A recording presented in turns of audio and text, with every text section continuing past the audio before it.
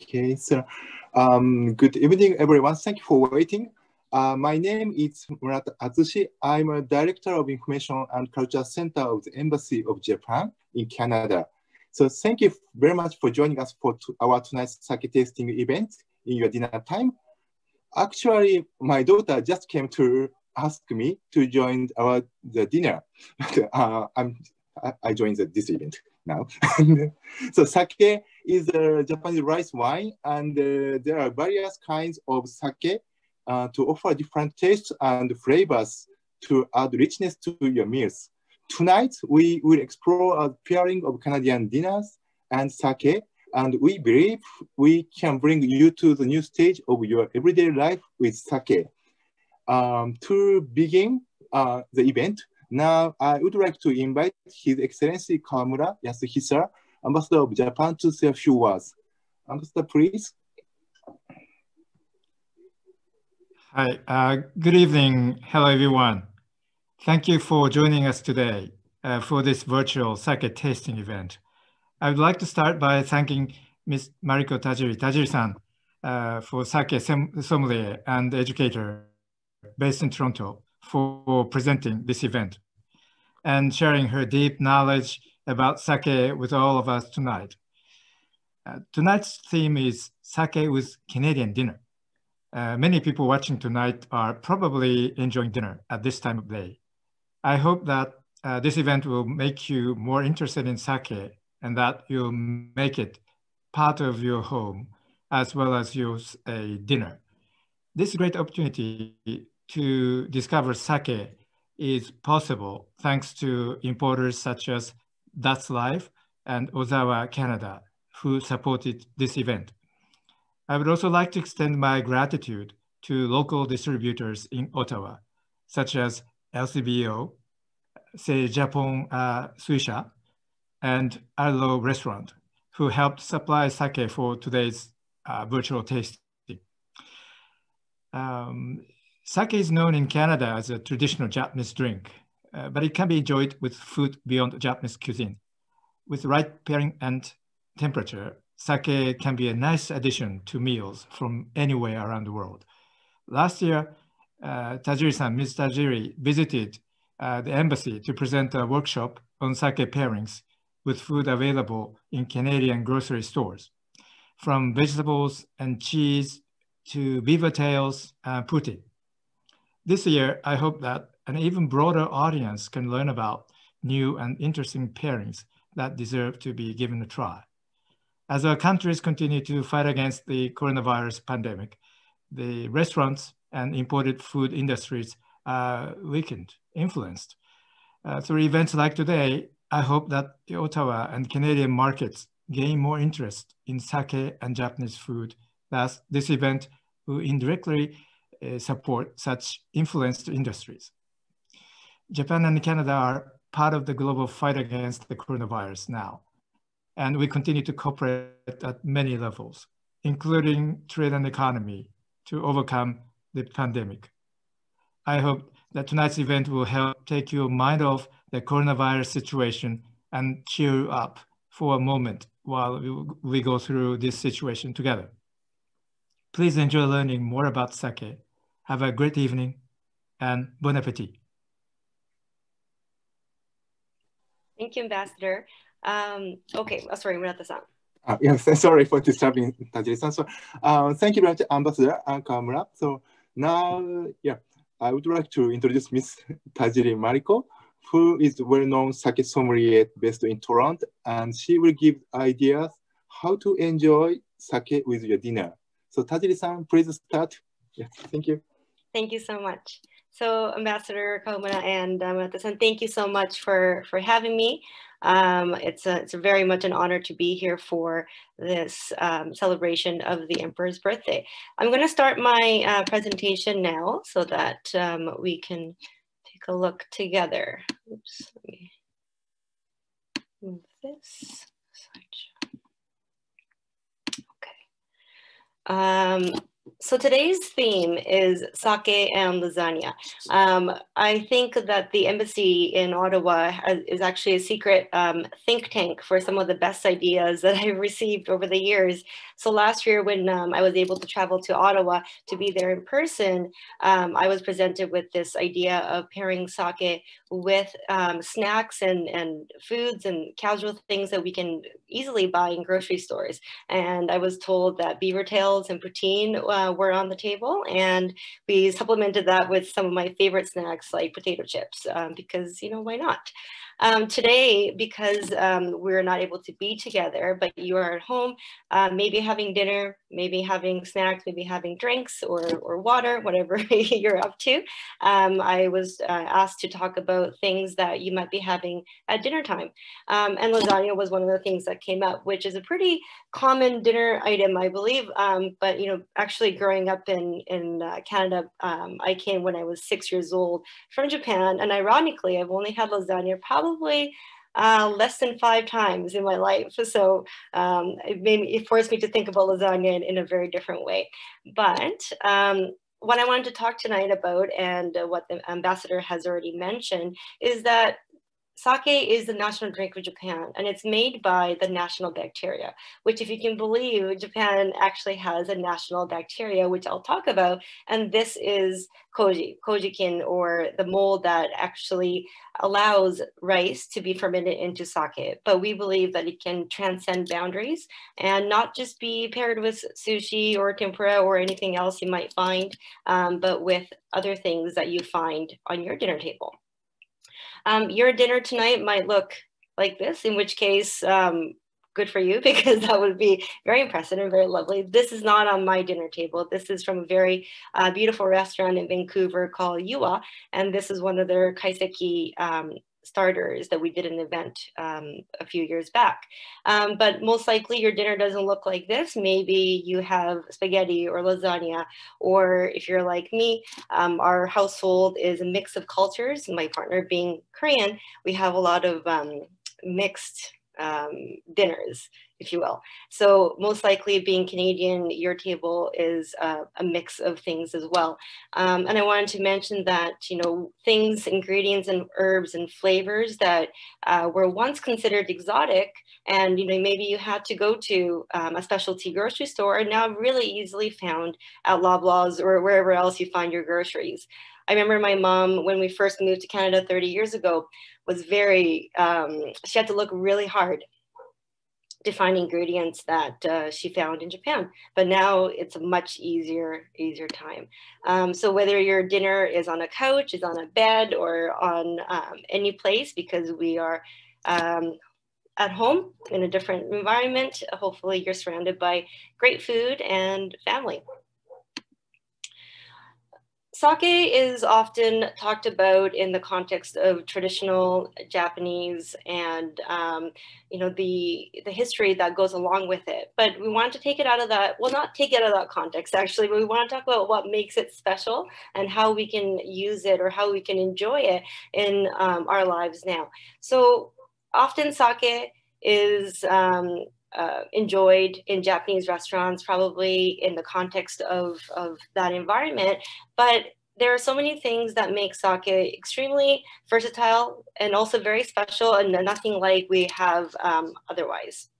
So we, of course, it's brewed from rice, and it was mentioned that um, um, sake can be called rice wine, which I prefer actually, to be completely honest, not to use that term because it's brewed much more like beer than anything. But um, as we'll see in this presentation, uh, sake goes through procedures and fermentations that are very unique to sake.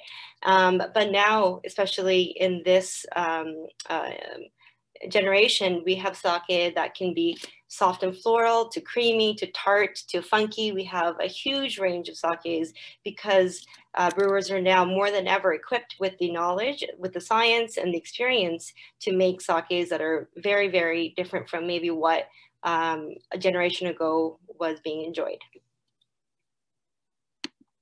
Also, I want to mention if you do have any questions, there is a Q&A um, box. There's also a chat box so that you can, um, um, yes, that you can uh, ask me questions then and I will keep an eye on that. So I'll answer them as we go along.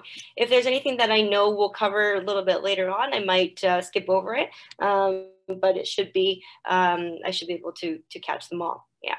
Um, some of this information might be very uh, much easy for you or, or repeat for you, but I want to go through some of the ingredients and some of the procedures or the steps in making sake um, and explain why those particular things make sake such a great accompaniment to all sorts of food. Um, the ingredients in sake, we have here rice, koji, water. And all three of these ingredients are definitely needed in making sake and some of them might seem really obvious to you and maybe others not so much. So rice, of course, um, sake is made with rice and we'll talk about the distinction between rice uh, that you might have at your dinner table right this minute or with um, sake specific rice. Oh, um, specific um, Okay, so sake specific rice is a rice, or there are rice varieties that have been specifically chosen um, by farmers to make sake with right? And these are, there's over a hundred varieties of rice available in Japan, sake rice that we can use, but actually the top five varieties, and we, we do go over that a little later. You might hear words like Yamada Nishiki or Omachi before, those are rice varieties. And the top five varieties actually make up more than 50% um, of all the sake rice being used. Uh, but we can definitely use table rice um, as uh, our ingredient for making sake. And in fact, the vast majority of sake by volume is made with uh, table rice. Uh, koji, this is the national fungus. I think I said bacteria earlier. Fungus is probably the more appropriate name, um, but it's Aspergillus oryzae. And Japan um, announced a few years back that this is the national fungus um, of Japan, and it's responsible for making sake, of course, but there's other things that um, are also made, like uh, miso, soy sauce, uh, very important ingredients in uh, Japanese cooking. And it's a fungus, uh, Aspergillus oryzae, that is used to create enzymes that allows sugars to be made. And sometimes um, koji and yeast get used interchangeably, and that's actually not correct. So yeast is a very different thing altogether, um, where yeast is used to convert sugars into alcohol, whereas koji is used to make sugars out of starch. Okay, and we'll talk a little bit more about that later as well.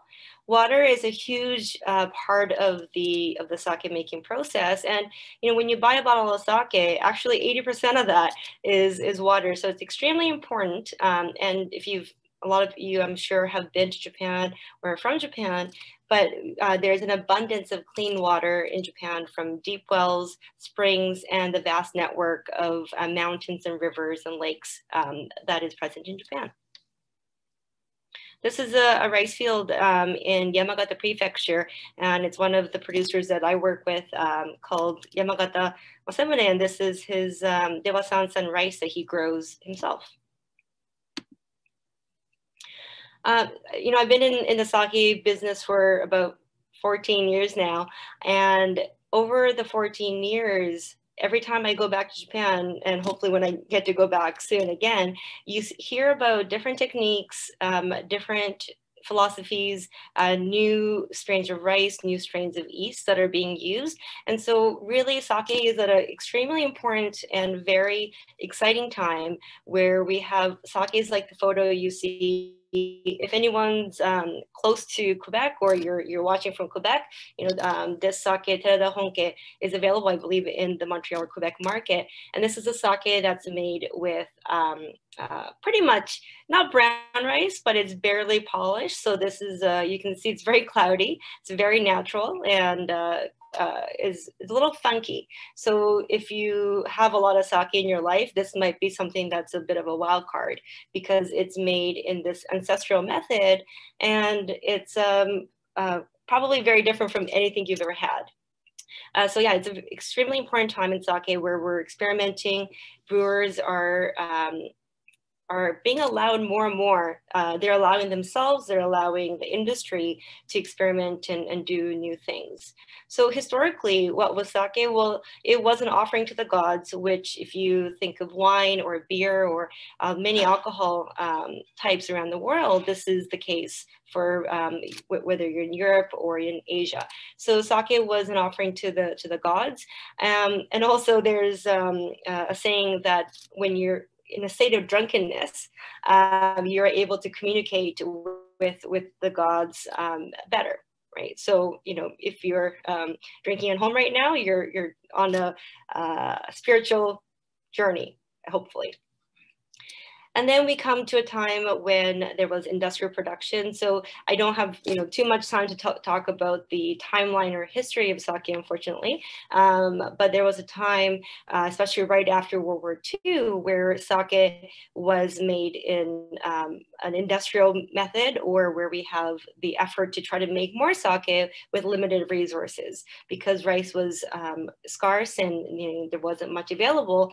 Uh, brewers were trying to stretch it. So we have this era where they were making three times the volume of sake that they usually could have by adding water or alcohol or um, MSG and other flavorings. And so we've come out of that time. Uh, uh, we're very happy to be out of that time, I'm sure. And now we're in a period where we're talking about artisanal brewers, um, craft brewing, if you will, and actually the craft beer industry, as well as um, things like uh, producers for wine who grow their own grapes. For example, the grower champagne in, um, industry. These are all things that the sake industry takes cues from and has learned also from. Right, so now we're in a time where uh, the producers are artisanal, they make a wide range of sake, and they can be creative. And actually, uh, last week, I believe I was doing another seminar, and someone said, Well, why is it now that brewers are experimenting and they're doing new things? What is it about right now? And I think um, the, a big answer or a big part of that question, that conversation, is that sake brewers were in really hard time. So the brewers who are now in their 30s, 40s, 50s, they were coming back to their farm uh, family business when they were struggling. Sake wasn't that popular um, in the you know 70s 80s things like beer and uh, wine and imported whiskey that was way more popular so brewers were having sake brewers were having a hard time and the people who um, were supposed to take over had had to change. They had to say, we're, we're going to do something different because what are we going to lose? You know, we have to survive. And uh, that paid off for many, many producers. And we're now, we're talking about things like terroir, we're talking about creative expression, um, and we get to drink those sakes.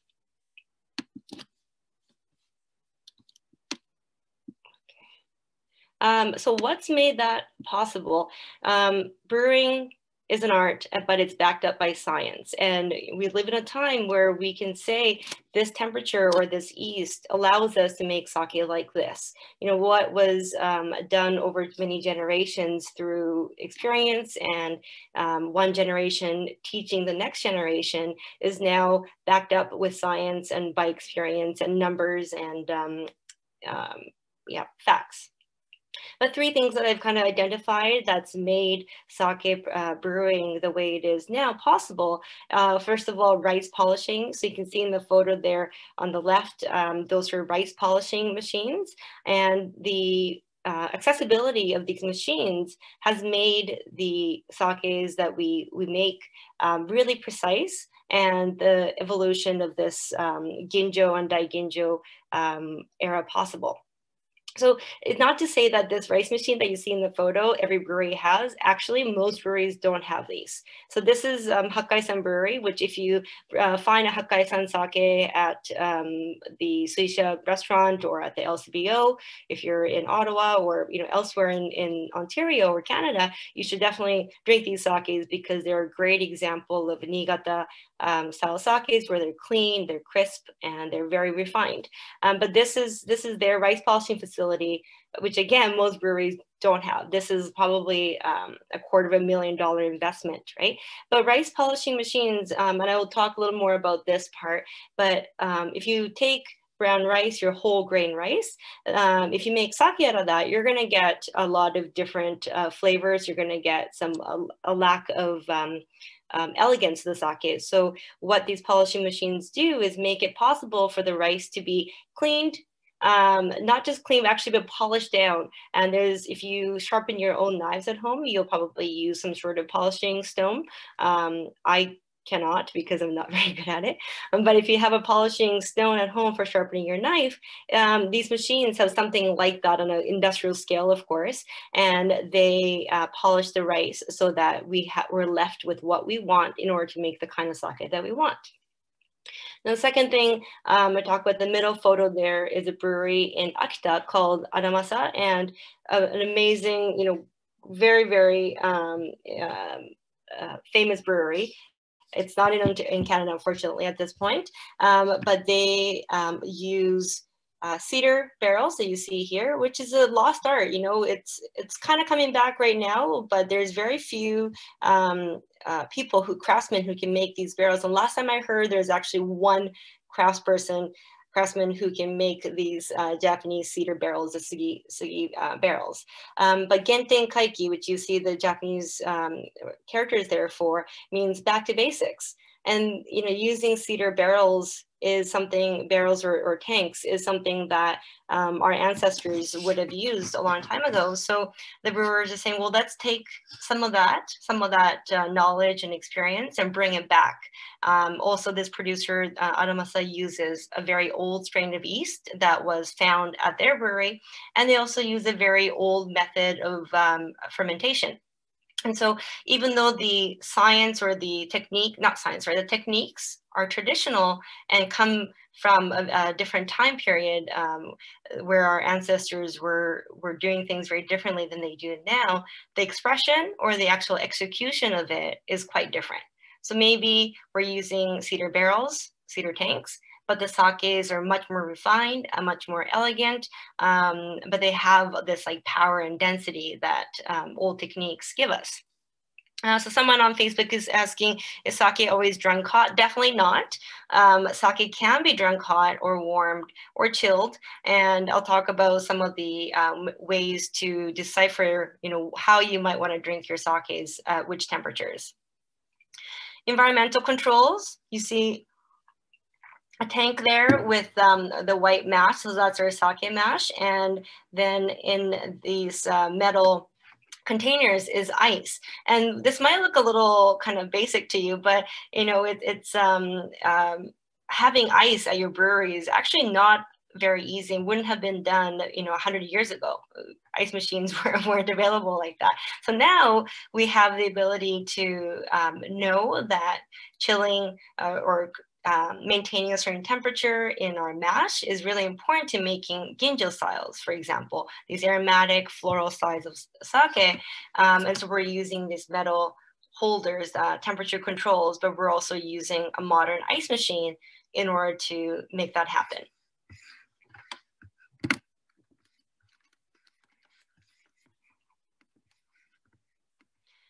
To polish or not to polish, it's a very um, big question right now in the sake industry.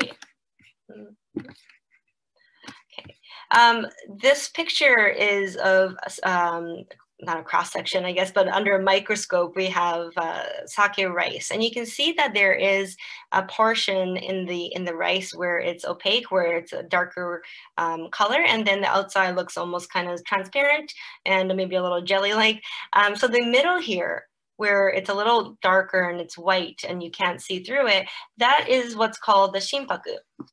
And shimpaku means um, starch heart. Um, it's the white heart of the of the rice, and this is where all the starch, not all actually, I take that back. It's where the starch is concentrated, right? We have starch on the outside as well, uh, as well, where it's a little clear, but we also have other nutrients like fats and proteins, nutrients, um, things like that um, on the outside. So uh, when you take a look at this, also don't think that it's like a, it's not like a banana peel where we take off the outside portion and now we're left with just the starch in middle. Um, but when we put these rice rice um, uh, kernels or the rice grains into our rice polishing machine, um, we have now the ability or the techniques and the um, machinery to take off some of the outside layers to get to a cleaner starch source right? And what happens to the taste as we polish more of it, as we get rid of more of the fats and proteins and the nutrients, these are the things that, that might be good for us or might be good for you know, fermentation, but actually give the sake um, a bigger range of flavors. And what people used to believe was that this was a roughness or a less refined flavor um, that you would get out of the fermentation process. So um, if you've heard of people saying, okay, this rice is polished to 50%, that means that 50% of the rice is left over. 50% um, has been removed. So half of it where the fats and proteins are, are removed in order to have a clean starch source and we make sake out of that. Now, if we don't polish, if we only take off a little bit, like let's say 10% we remove or 20%, so your rice polish ratio is 90% or 80%. That cloudy sake you saw in the photo, which um, uh, apparently is available in Montreal, it, um, that one was polished in 90%. So only 10% was removed. Um, the reason why producers are now thinking about that sort of um, style of sake is that when we keep more of the rice, we keep more flavors or we can create or we can extract more flavors out of the process. And so, you know, this the rice that we take time to grow is expensive to grow, it's expensive to buy. Why not actually use more of that? So we have more of the sake rice or more of the table rice, more of the rice in the sake itself. Uh, there's a question from Facebook. Is it true they used to chew and spit the rice into a container to let it ferment? Yes, that is correct. That is um, uh, kuchikami sake. If you've um, uh, heard about that, read about that, or seen that in some movies, if you, if anyone saw um, Kimi no Na, Your Name, it was a, a, a huge movie, uh, animated feature in I think 2018. There was a scene when um, the daughter of this um, uh, shrine, she chews rice, splits it into a container, and that is like the, the uh, original form of sake or the offering to God. So because we have enzymes in our palate, in our um, saliva, that allows the rice to break down from starch into sugar and um, natural yeast would take over and would ferment. No one um, does that now to, to the best of my knowledge and you don't try it at home. But um, yeah, that is the origins of sake, which uh, if you look at the history of alcohol, that sort of um, style is evident in many places around the world. So sake rice. This is um, a picture that I took in uh, Hyogo of Yamada. Um, and Hyogo Prefecture is still uh, the definitely the, the top place for Yamada rice. Uh, this is considered the king of sake rice, and I'll talk about why in a second. But um, uh, sake rice is Japonica rice. But we do when we when you make sushi or when you make rice at home, that is also japonica rice, of course, as well.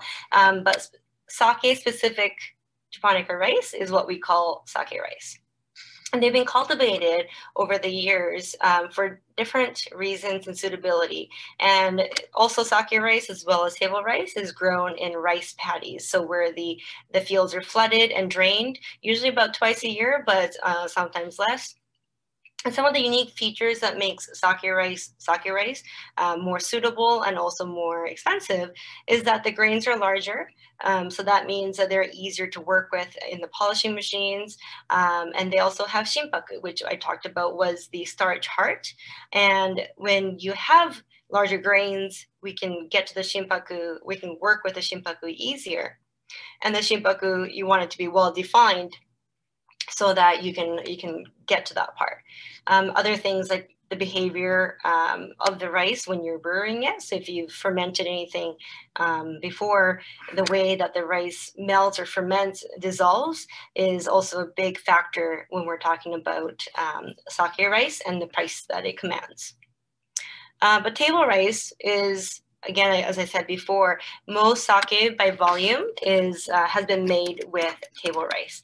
And the absence of shinpaku, so the fact that if you look, if you get go into your kitchen and get some rice in your hands, when we're talking about uh, uh, Japanese japonica table rice, you won't see a shinpaku because that's not the nature of table rice.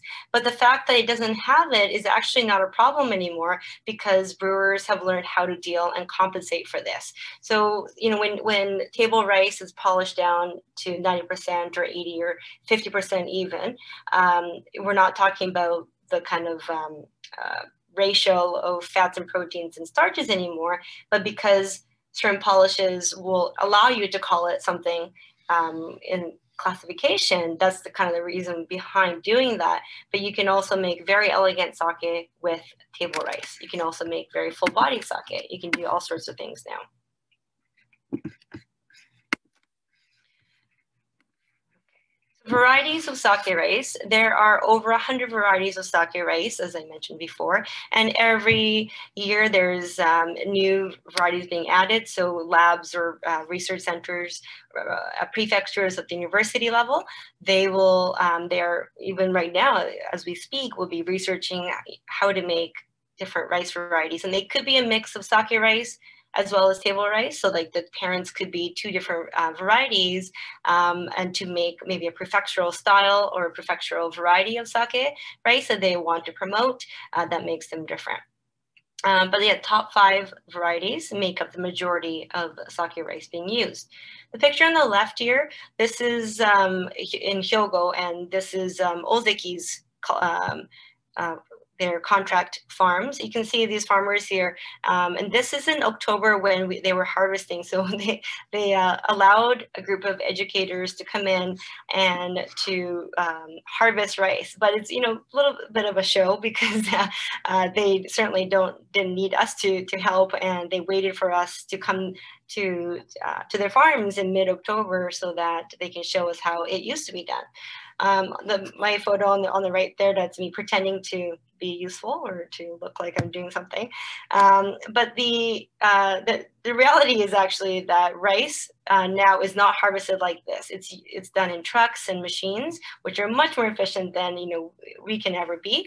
Um, but you can see the farmers on, on the left here who have been farming all their lives, probably for many generations.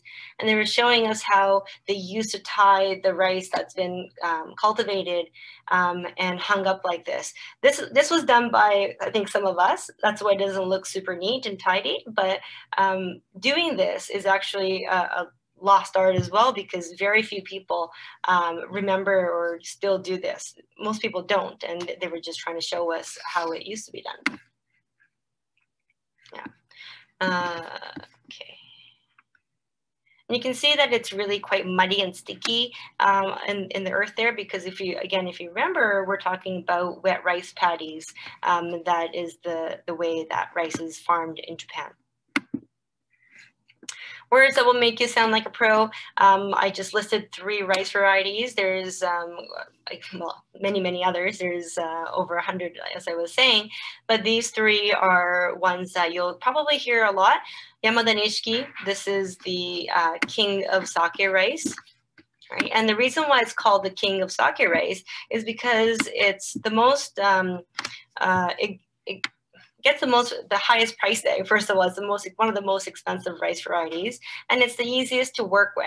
We talk about uh, shinpaku, the starch heart. In Yamada Nishiki rice, the shinpaku is shaped in a way that makes it really easy for the polish machines um, to work with, right? Whereas omachi, which is on the bottom there, um, from uh, Okayama prefecture usually, Okayama uh, omachi has a shinpaku that's harder, shaped in a way that makes it harder for the rice machines, polish machines to get at.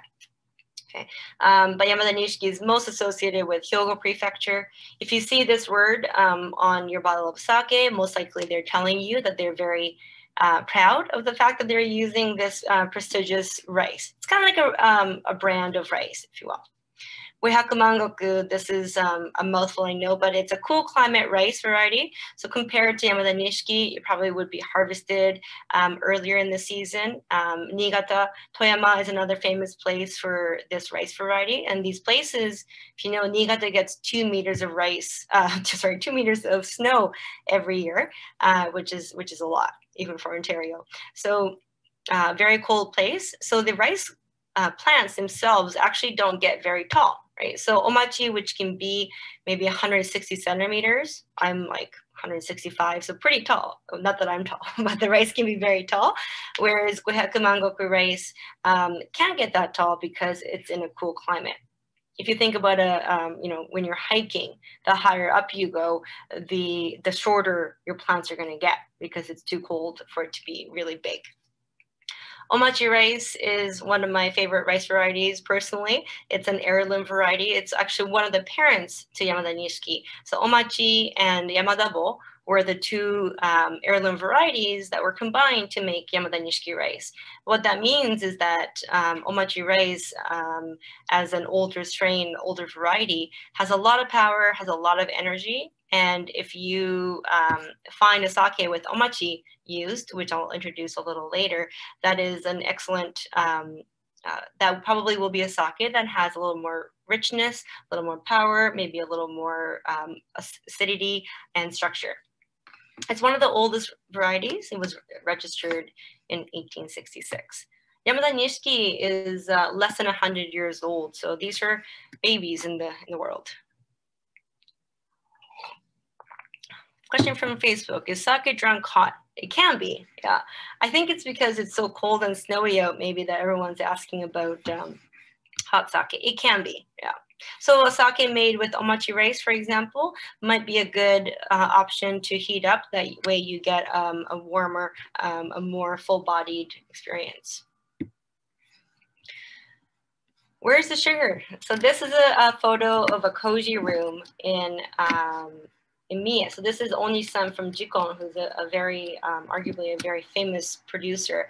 Uh, his, his bottles are very, very Instagrammable. Um, but if you um, have made wine maybe, or you know how wine is made at least, you know that if you squish grapes or you get grape juice, you've got sugars in there, right? So by adding yeast or maybe with natural yeast, you can make alcohol.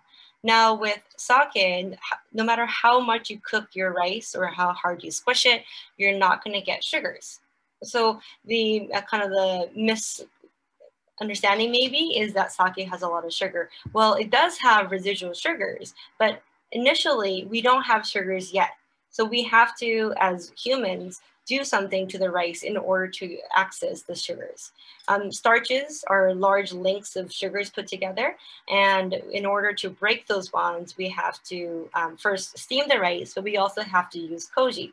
And this is why koji is considered so important. And every single brewer, no matter where you go in Japan, will tell you that the most important part of sake making, the most important process is making koji. So you see in the photo here, Oni-san is, is sprinkling koji. So this is the, the koji powder, the koji spores, onto the cooked rice, onto the steamed rice. And the photo in the middle of the hyphae growing in. So that's actually, I think, penicillin, um, uh, Google said. But you can see the feeding tubes growing, it, growing um, in that photo, and they're looking for uh, nutrients, they're looking for water, and that's how koji as a, as a mold um, grows, right? So they, they need humidity, they need more, uh, uh, temperature, moisture, same thing, and they need um, heat and moisture. There you go. So koji making is the um, design blueprint of our sake making. So how you make the koji determines what kind of sake you're going to make. Right? So if you make a very strong koji, that means that you're going to have the ability to make a lot of sugars. That means you can also make more alcohol. Um, but it's really a balance of all these um, things that we have to do in order to make the sake that we want to make. Uh, 48 hours is the number of hours it takes to grow koji on average. So these brewers are monitoring uh, their koji batches uh, for 48 hours at least in these rooms. Uh, sometimes it can be done in more automated facilities or rooms, Um, but uh, the vast majority of, of, brewers, especially the craft brewers, are using this very time, uh, time sensitive and time consuming method of making koji. So favorites, uh, koji, koji mo, what does it like or it needs? It needs moisture uh, and a warm, cozy environment. It might not look like it, but this room that um, Oni-san is in is um, made out of, of good out cedar, and it's also very, uh, not very, I mean, they're controlling the humidity in the warmth. It's probably about 38 um, degrees Celsius, and the humidity in there is, um, depending on, on where he's at, but like at least 60 to 70% humidity. And so his role um, is to create a comfortable environment for the koji to grow. So some producers some producers say that you know they're they're the brewers, but actually it's nature, it's koji, it's yeast doing the hard work, and their role is to create the perfect environment for that koji or that yeast to to do its thing. And uh, for, um, yeah, they're all they are are people who are facilitating this process. Um, there was a question.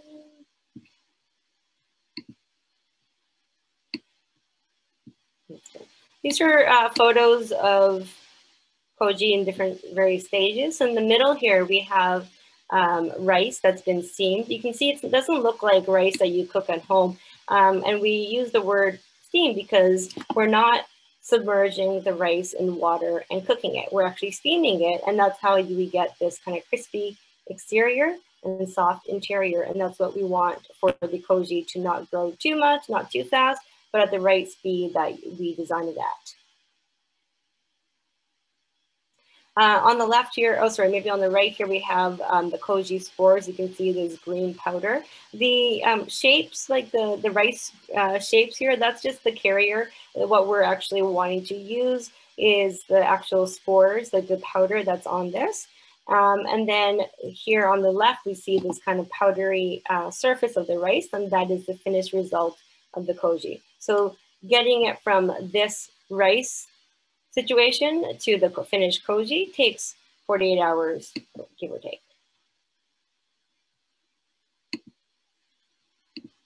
Um, okay, so how should I make sake hot? Microwave? No, don't microwave it. Um, I'll talk about that too. Someone else asked, asked if you have any sake recommendations in Canada, Ontario, Quebec. Yes, I do. We will talk about that in a second. So just another close-up of koji. It's um, you can see on the surface the powdery part. That's the koji that has grown, and it's um, when you chew this, it's perfectly safe and very delicious. Uh, if you get to go to a brewery or you come to Toronto and um, taste Izumi's koji, it's very sweet and it almost has like a chestnutty uh, flavor.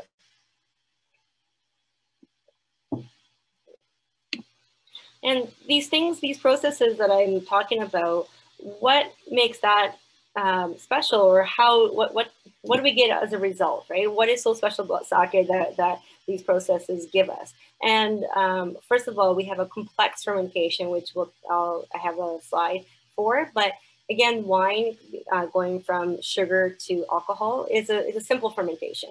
And then, but with sake, we have actually a parallel fermentation a parallel fermentation where we have the, um, the starches being converted into sugars and the sugars becoming alcohol in the same tank at the same time. Um, so this is a, something that's quite unique to sake and it gives us complex flavors. The subtleties, we get umami, we get acids.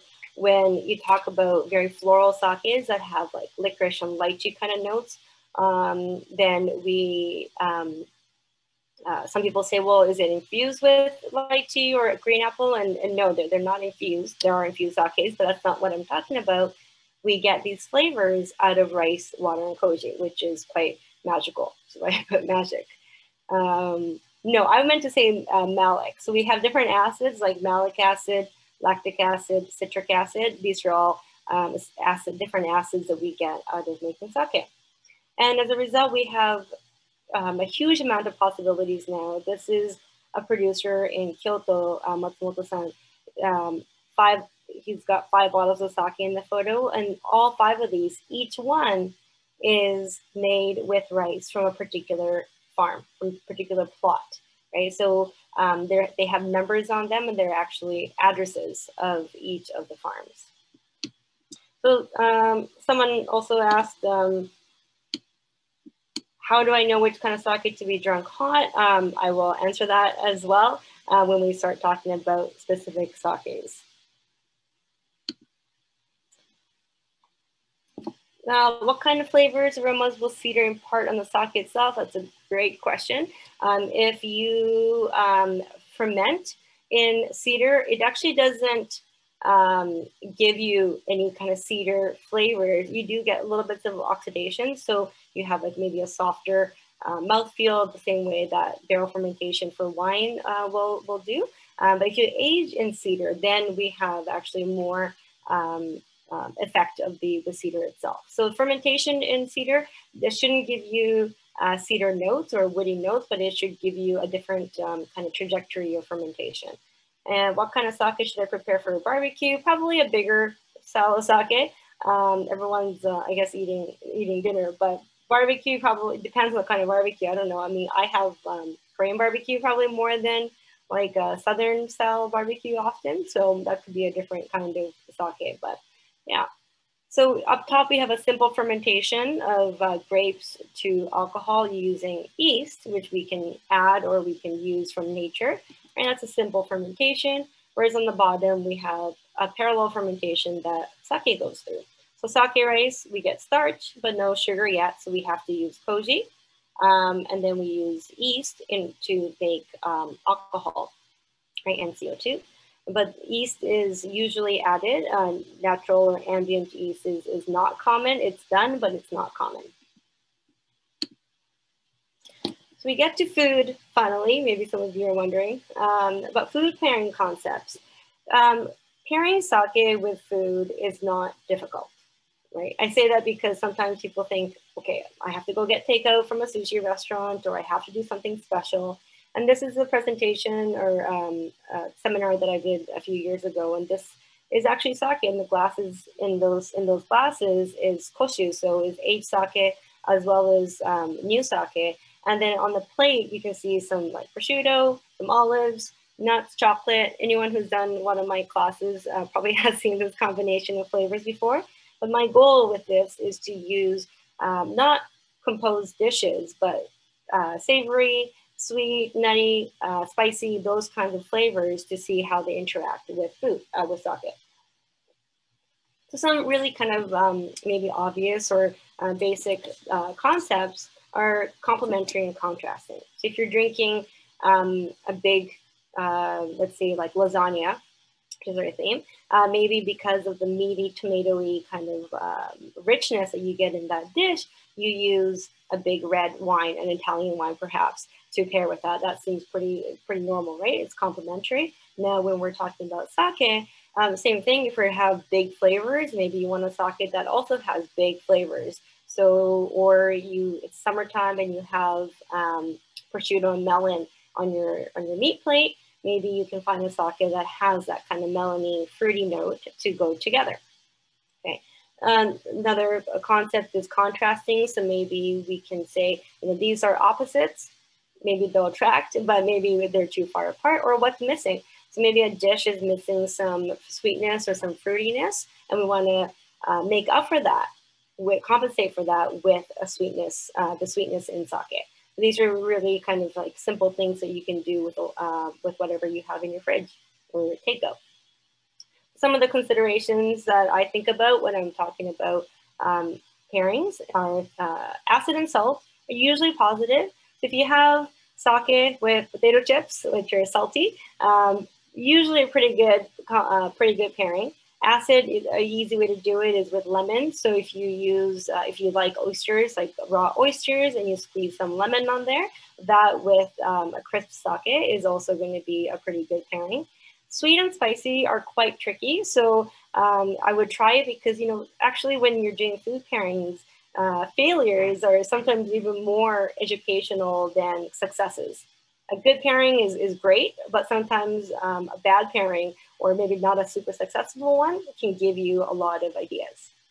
Um, other things I think about intensity of flavor and aroma. If you have a really big um, uh, like aromatic dish, let's say you're using a lot of spices, you do have to think about how that will, that might fight with some of the sakes that you're having, or it might just overpower the sake that you're drinking.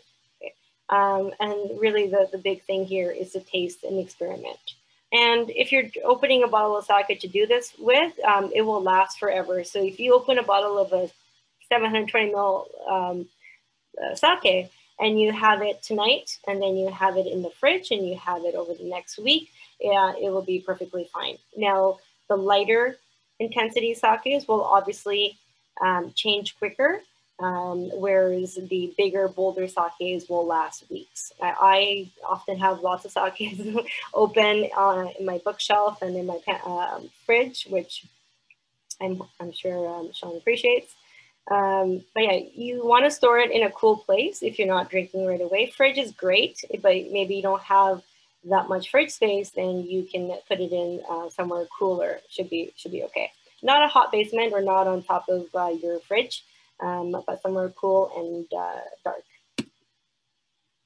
More food con uh, pairing concepts to think about, whether um, your sake is a ginjo or non-ginjo.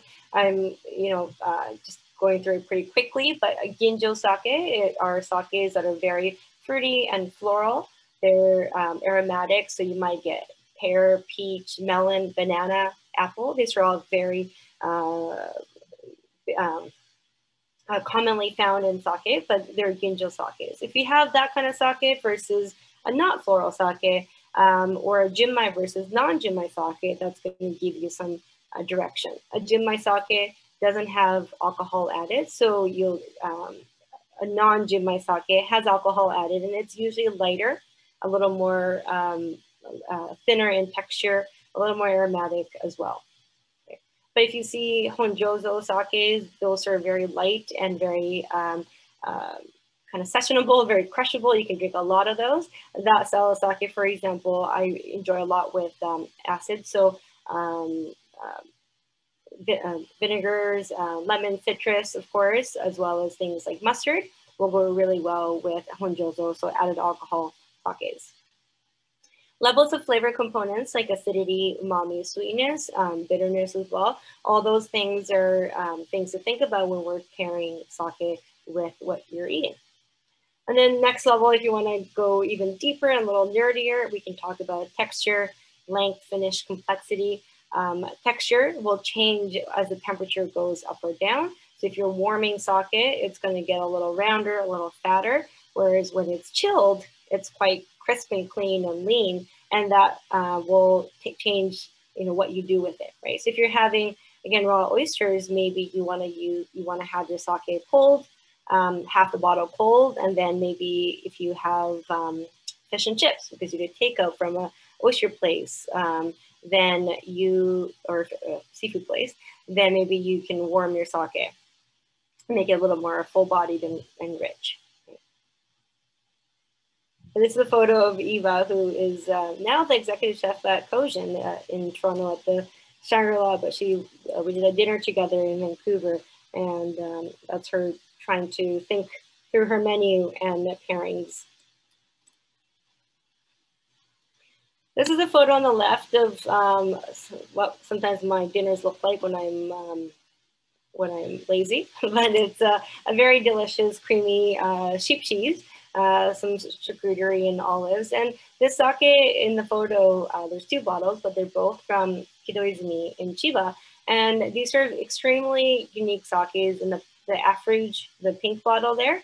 That one's aged in red wine barrels. And the one on the right, the Kidoizumi, um, is a vintage sake from 2016, double checking. And it's made in a very um, unique fermentation style. So you get a lot of um, richness and mouthfeel, and it's quite funky you um, you get a lot of um, umami, but also acidity, and that paired with cheese and like bigger flavors are going to be really interesting.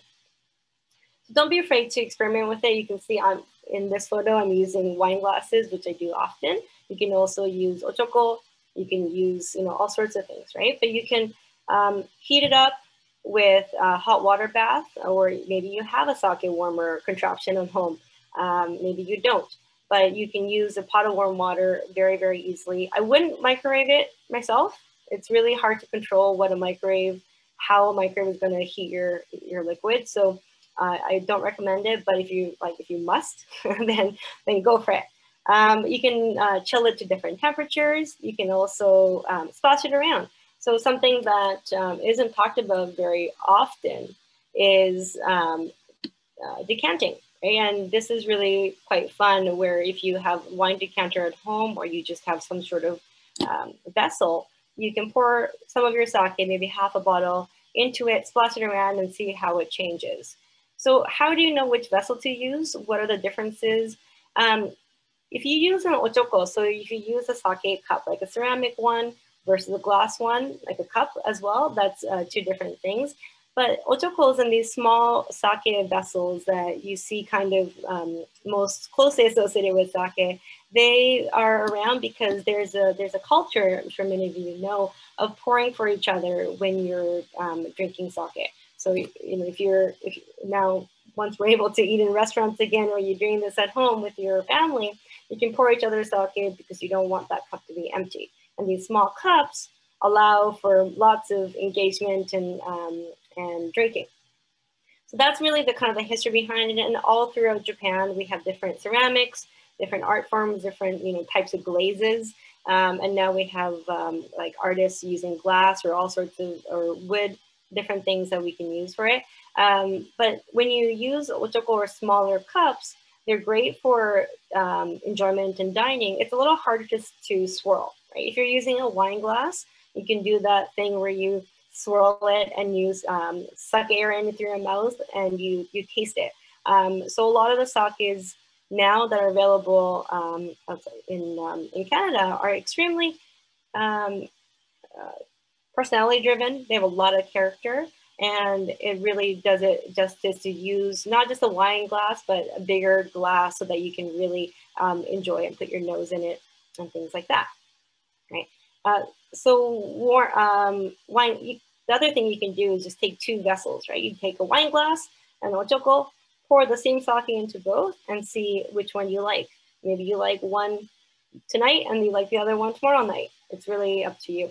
Um, but as a general rule, the ginjo sakes and the daiginjo sakes, whether it's junmai ginjo or junmai daiginjo, those ones are probably going to be better in like a chilled um, kind of vessel, so a wine glass or maybe a glass, um, glass ochoko, but a, a, vessel that usually kind of closes in like this so that you can um, get the aromatics in the glass. Okay.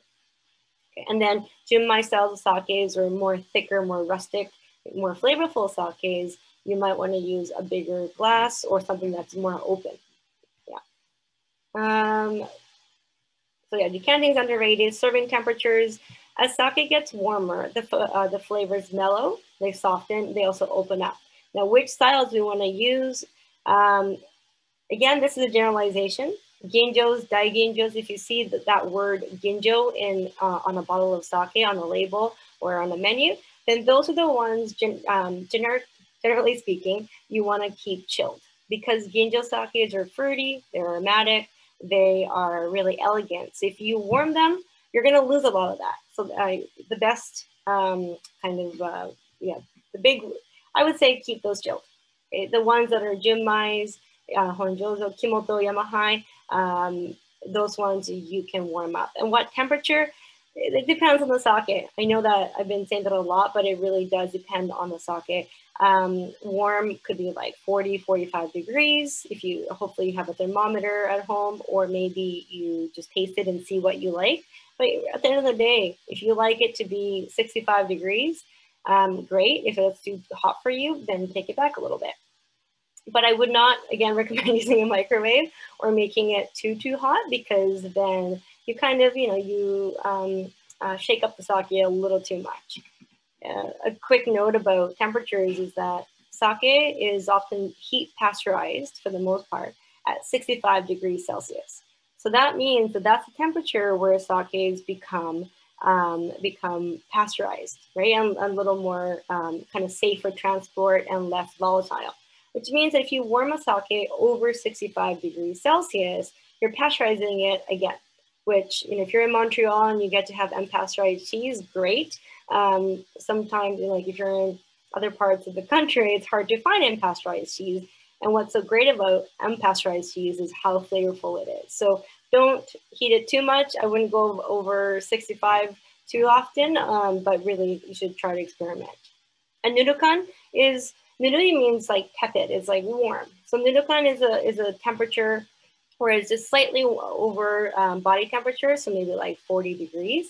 And you can do that with junmai sakes.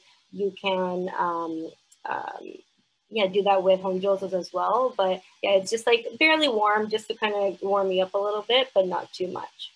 Adding flavors, this might sound a little crazy to you, but uh, there's a lot of sake um, brewers as well as like sake sommeliers in Japan doing some really fun things by adding um, elements like uh, black pepper, sansho, cinnamon to their sake. So you might want to use a sake that is also a little kind of funkier or bigger and richer so that it can handle spices like black pepper um, or sansho, but you can um, do that and see, see where you get.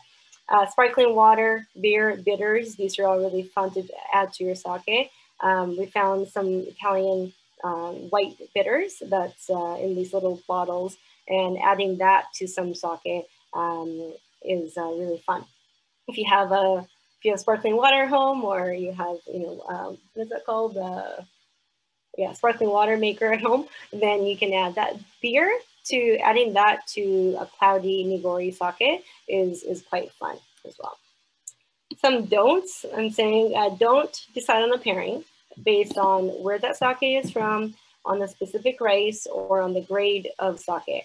Just because it's a ginjo or junmai doesn't mean that that's going to pair with A or B, right? So you really have to try things and often I'll, I'll make pairings up in my head um, for a dinner. And then when I try it, I go, ooh, that didn't work.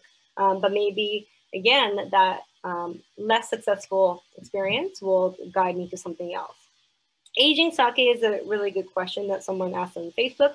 Um, and yes, you can age some sakes, um, but for the most part, the vast majority of sakes are not meant to be um, aged. So you want to, if you're going to try aging sake, you want to pick ones that are designed to be aged, which uh, we don't have too much time to go into details, but email me or, or message me or on Instagram and we can talk about that some ideas to get you started, hopefully, um, because we were talking about lasagna. I want to talk about that.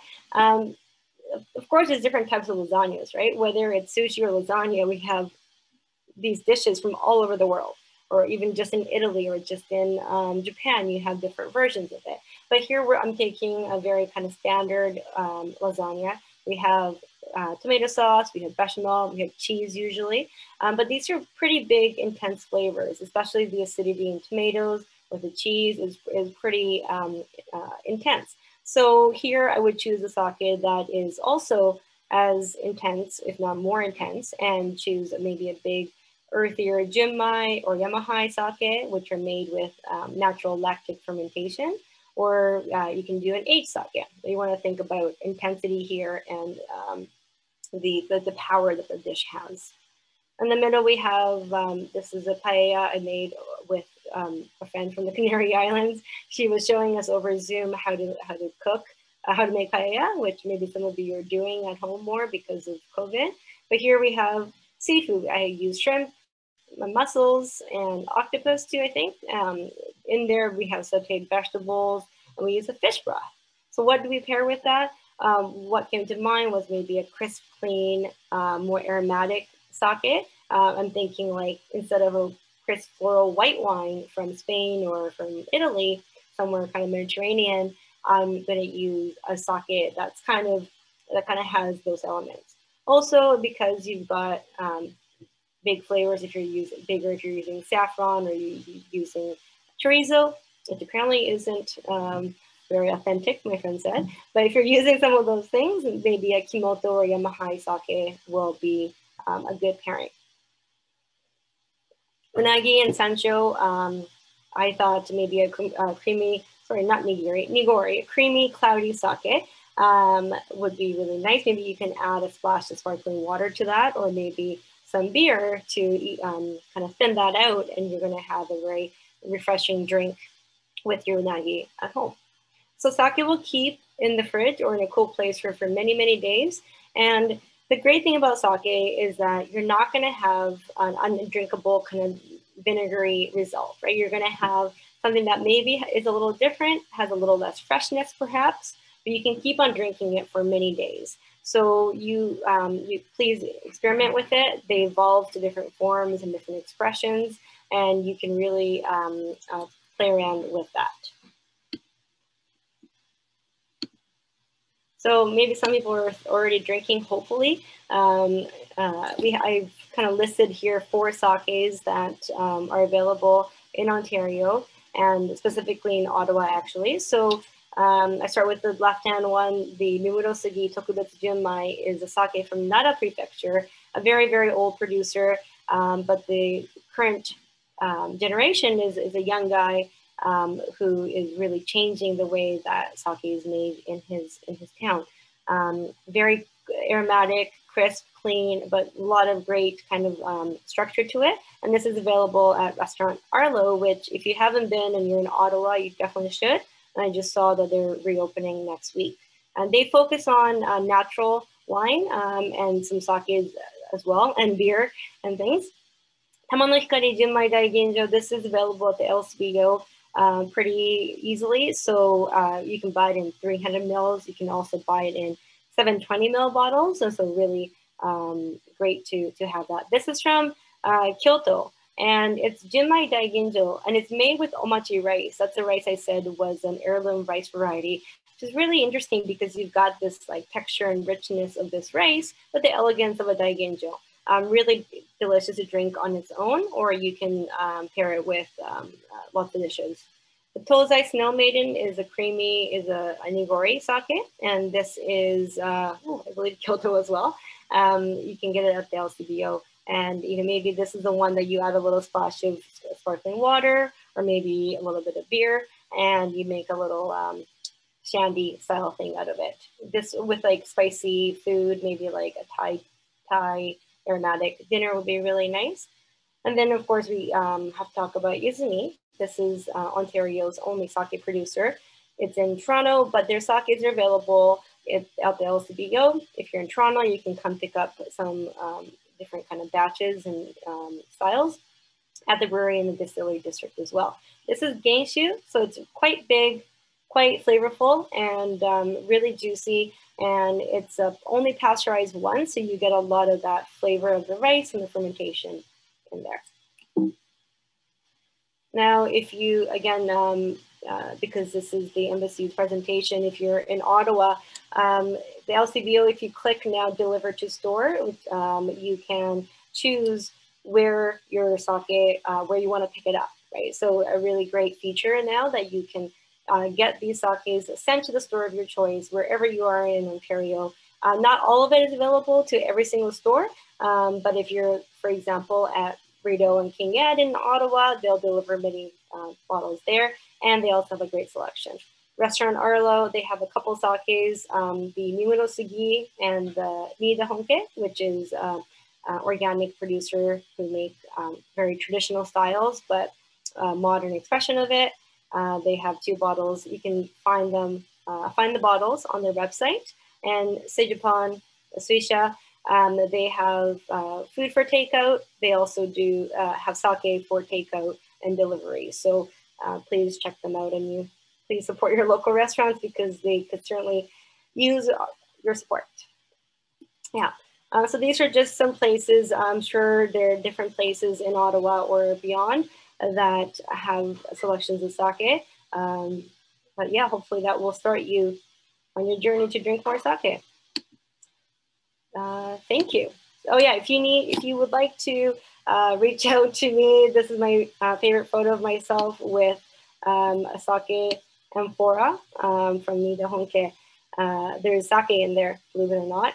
They imported this from Europe, but it's for sake. So my Instagram accounts are up there. Uh, Hakko is my sake school, and my email address is there if you want to ask about sake aging or anything uh, sake related, please don't hesitate.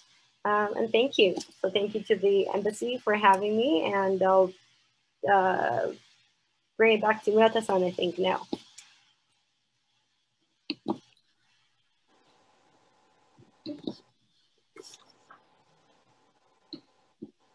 Thank you, Tajiri-san. So it's a great presentation. So um, you make me very thirsty and hungry now. So I think I have to rush to uh, my family to join dinner with sake tonight. And uh, so and uh, also I hope um, the all viewers uh, th thank you very much for joining us today. And uh, I also hope all of you are uh, checking the the LCBO website and uh, restaurant Arlo and Suisha to uh, order the sake for your dinner. And so thank you very much. And I now I'm like to wrap up the finished up the event. So thank you for joining and have a pleasant evening. Thank you. Goodbye.